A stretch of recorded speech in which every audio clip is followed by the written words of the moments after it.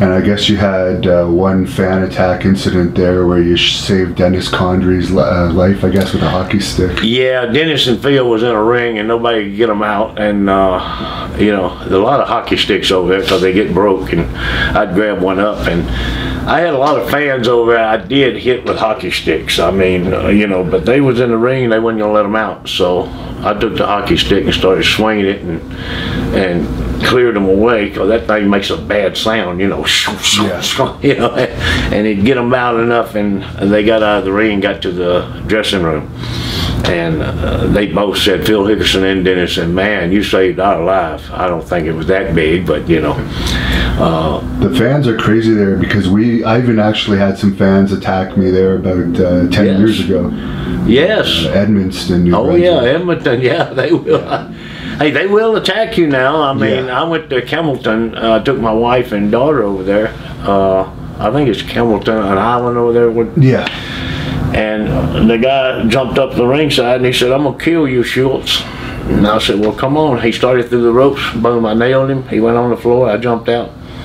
It just happened. His head hit the post after I kicked him, and knocked him out.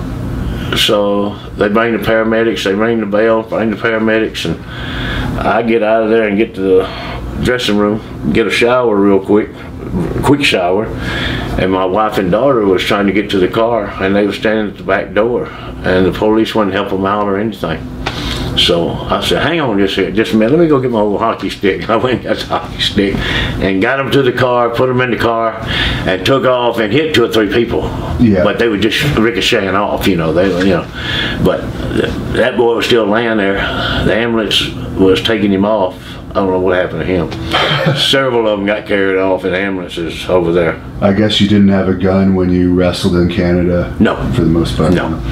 It would have been important in the U.S., I assume, back in those days to, to carry a weapon with you of some sort. Uh, and, and, you know, used to we carried rifles in our truck in the window. I mean, uh, we just put them in the window.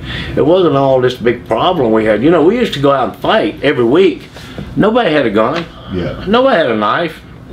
I got a problem with you. Hey, we're gonna fight Friday night. We're gonna do it at Wells Park. Everybody be there. Word to get out.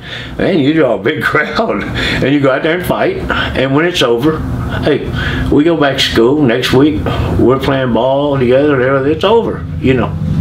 And if we want to redo it, then we'll redo it. Uh, you know. But it's kind of fun. You know. Yeah. We had something to do. You know.